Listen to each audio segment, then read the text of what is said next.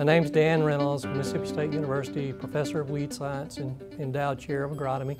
And my role in the Soybean Innovation Lab is the agronomic research uh, that will be conducted in Ghana.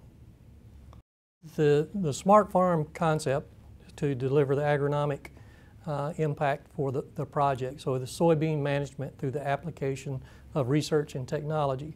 So this is a program that we've used in Mississippi, uh, where I'm from, that demonstrates the best, uh, best management practice for agronomic production. So you, you go to a farmer's site, you actually demonstrate on their farm uh, the agronomic practices and how they can impact their operation. So we kind of transported that to, to Ghana that we're going to try to develop and demonstrate the best management practices for agronomic production to demonstrate it to the stakeholders of the area.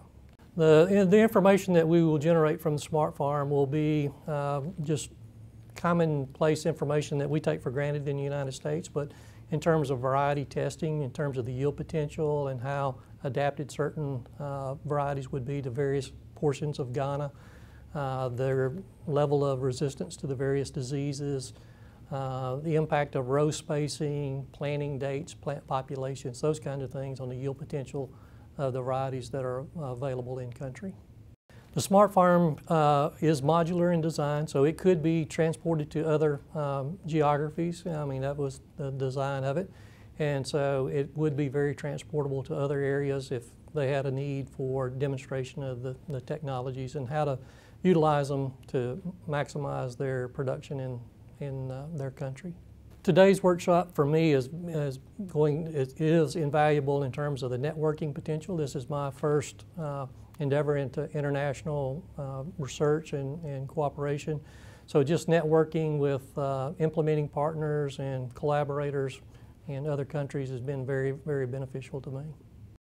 If someone wanted to uh, contact us about, you know, uh, developing a smart farm in their uh, particular region, they could contact us through the Soybean Innovation Lab website, uh, either the director, uh, Pete Goldsmith, or myself directly. Uh, if they get in contact with us, then we can communicate about the possibilities of, of cooperating with them in the development of a farm in their, their area.